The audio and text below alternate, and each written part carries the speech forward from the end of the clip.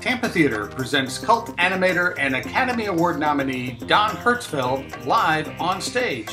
One night only, Thursday, April 4th at 7:30. Don will show a selection of his classic animated shorts on 35mm, including his newest film It's Such a Beautiful Day. Afterwards, he'll take questions and chat with the audience. Buy tickets now at the Tampa Theater box office or at tampatheater.org.